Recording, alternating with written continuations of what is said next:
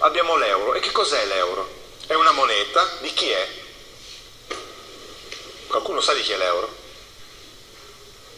La lira, la lira era dell'Italia, il marco dei tedeschi, innegabilmente. Di chi è l'euro? Non è di nessuno, non è neanche delle banche. L'euro è una moneta che non è di nessuno